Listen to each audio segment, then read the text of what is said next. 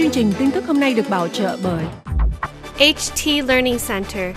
Sự thành công của con em quý vị là niềm tự hào của chúng tôi. Hustler Casino, Los Angeles.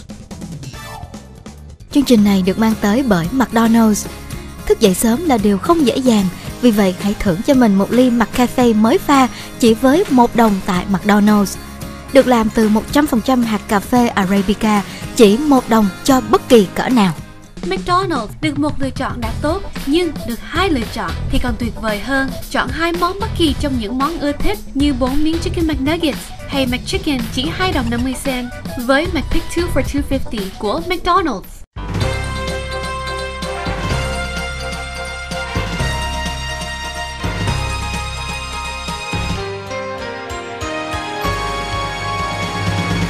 À, kính thưa quý vị, à, tiếp tục với báo cáo của GAO, à, Văn phòng trách nhiệm về ngân sách của chính phủ Hoa Kỳ, cộng với à, cơ quan kiểm đưa, đưa ra. Họ báo cáo của văn phòng à, trách nhiệm à, chính phủ đó không có đề cập đến việc là cái bức tường có hữu hiệu hay không. Cái đó không phải là trách nhiệm của họ. Vâng. Trách nhiệm của họ là cơ quan thực thi luật pháp biên giới đó. Thì họ nói rằng à, hàng rào. Bây giờ mình phải có hai cái. Một cái là wall là bức tường xây bằng bê tông, Bê tông. cốt sắt và Vâng. xi măng làm tường. Hàng rào chỉ là những cái thanh sắt có thể là hai lớp có thể là một lớp th- đóng thật sâu cao. À, thì đó là hàng rào. Thì hai cái khác nhau.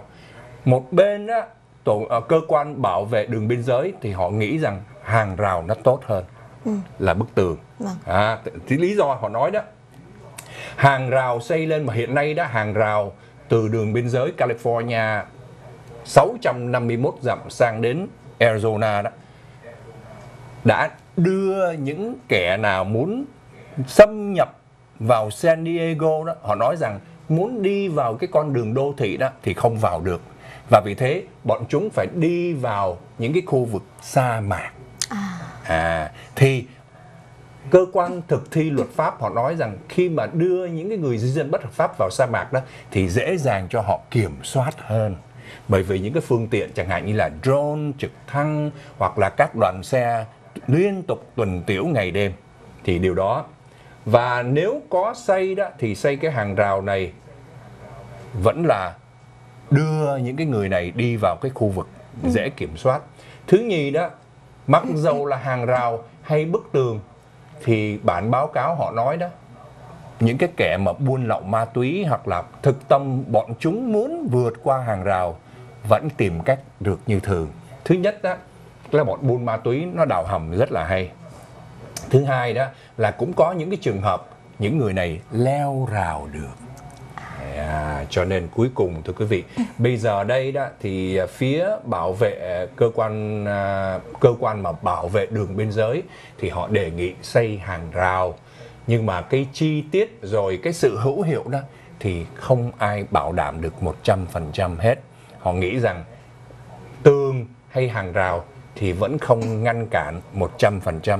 Nhưng mà đó là cam kết của Tổng thống Trump và ông nói rằng cam kết đó ông không có nói là 100% ngăn cản hết được nhưng mà ngăn cản được người nào thì hay người đấy. Bên cạnh đó, ngoài bức tường còn có những cái xác lệnh để tìm cách đẩy những cái di dân bất hợp pháp phạm các tội hình ra khỏi nước Mỹ thì điều đó không thôi là đủ để ông thỏa mãn được những cái cử tri đã bỏ phiếu cho ông cũng như những cái cam kết mà ông đã từng đưa ra trong lúc tranh cử tổng thống thưa quý vị. Và thưa quý vị, trong khi đó thì có một báo cáo, một nghiên cứu y khoa vừa đưa ra gần đây cho thấy là bệnh tự kỷ ở trẻ em có thể được dự đoán trước bằng cách là đo cái độ phát triển của não bộ của các em mà đặc biệt là trong khoảng thời gian từ 12 tháng cho đến 24 tháng. Thì um, bà Heather Cody là người đứng đầu của một uh, cái viện nghiên cứu thuộc trường đại học North Carolina cho biết là các chuyên gia đã nghiên cứu dựa trên hai nhóm trẻ em có tuổi từ 6 tháng cho đến 2 tuổi. Thì bà dựa theo cái dữ liệu từ cơ quan CDC của Hoa Kỳ cho biết là Hiện nay ở Hoa Kỳ cứ 68 trẻ em thì có một em được chẩn đoán là bị tự kỷ. Thế nhưng đối với những trẻ sơ sinh nào mà có anh chị em mắc chứng tự kỷ thì nguy cơ mà các em phát triển những cái rối loạn dẫn đến bệnh rất là cao. Nó ờ, có cái tỷ lệ là 5 em thì sẽ có một em bị. Thế cho nên là trong cái cuộc nghiên cứu này à, các chuyên gia đã tập trung vào một nhóm 106 em từng có anh hoặc chị em trong gia đình bị bệnh tự kỷ và nhóm này được gọi là nhóm có nguy cơ mắc bệnh cao. Và nhóm thứ hai, 42 em có nguy cơ thấp khi mà trong gia đình không có anh chị em bị bệnh. Thì sau đó các chuyên gia họ đo đạc những từng vùng ở trên não bộ của mỗi em và họ phát hiện ra được là 80% trong số 15 em bị mắc bệnh khi mà bắt đầu chuyển sang 2 tuổi thì có đặc điểm như sau.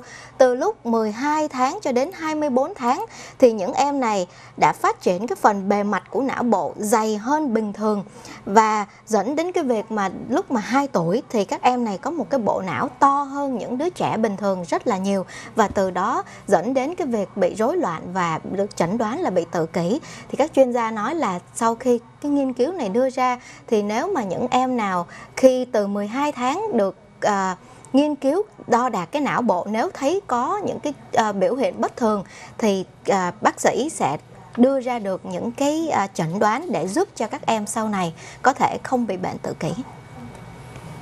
Trong lúc mà chúng tôi nói đến bức tường thành đó thì Hollywood đang chuẩn bị tung ra cuốn phim The Great War Vạn Lý Trường Thành phối hợp giữa dữ kiện lịch sử với khoa học giả tưởng thưa quý vị vạn lý trường thành mà có một người mỹ trắng cầm cung bắn làm sao hả thảo yên vâng matt damon à, một tài tử nổi tiếng và được nhiều người yêu thích anh rất nổi tiếng trong cuốn phim là um, Born Supremacy. Yeah, dạ, vâng.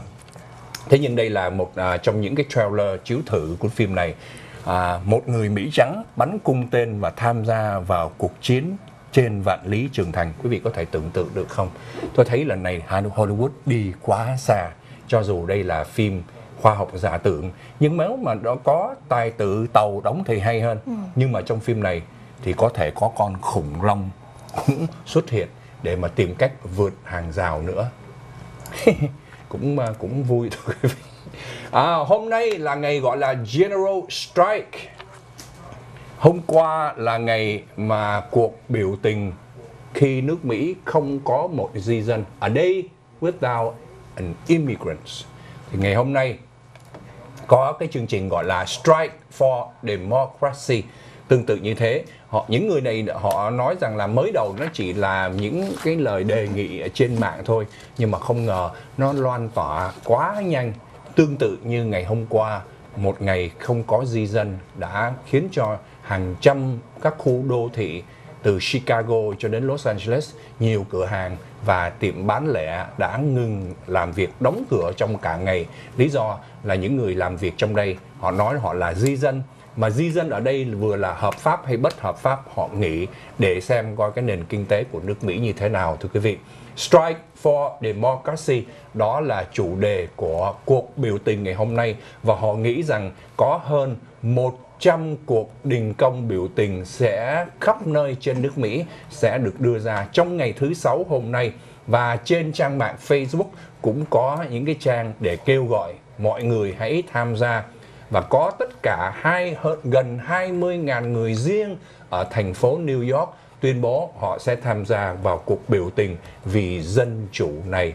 Và lẽ đương nhiên chúng ta thấy là đây là những cái hành động để mà chống lại những cái um, hành động của ông uh, tổng thống Donald Trump tìm cách là ngăn cản di dân vào và cũng như đối với những người mà họ thấy bà Hillary Clinton thất bại trong cái cuộc bầu cử đó cũng còn mang những cái nỗi đau và họ tiếp tục kêu gọi biểu tình để chống lại tổng thống Donald Trump. À, ở đây Without Immigrants rồi uh, Strike for Democracy vẫn tiếp tục hiện hữu uh, thưa quý vị. Không những thế mà những người uh, thực hiện và tổ chức các cuộc biểu tình này họ dự trù đó sẽ còn tổ chức thêm nhiều cuộc biểu tình khác nữa trên khắp nước Mỹ.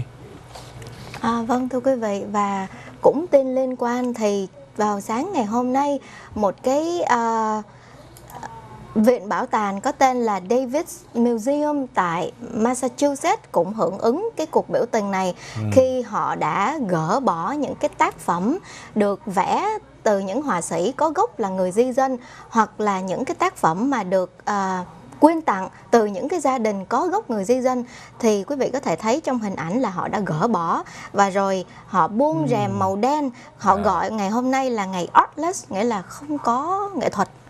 Vâng, artless thì họ nói là ở trong cái viện bảo tàng này có 20% tất cả các tác, phẩm hội họa là được vẽ nên từ những cái họa sĩ người di dân. Yeah. và một trong những cái ờ, tác phẩm quan trọng nhất của viện bảo tàng này đó là bức chân dung của ờ, ông George Washington cũng được gỡ bỏ khi mà được vẽ từ một họa sĩ có gốc người di dân. Tôi đề nghị ở đây without phở. Oh man, cái chuyện đó là chắc chết. Ở đây without cơm tấm. Ở đây without đi chợ. Và thưa quý vị, à, cái những cái vụ mà ở đây without đó, một ngày mà không có, tôi nghĩ nó sẽ còn lan tỏa nhiều cái cái vụ khác nữa. Vâng. Và đó là các bản tin đáng chú ý trong ngày hôm nay của Little Sài Gòn TV. Cảm ơn sự theo dõi của quý vị. Mời quý vị trở lại lúc 5 giờ chiều nay à, theo dõi các bản tin cập nhật trong ngày quý vị nhé. Kính chúc quý vị một cuối tuần thật vui vẻ và hạnh phúc bên gia đình. Hẹn gặp lại vào chương trình thứ hai.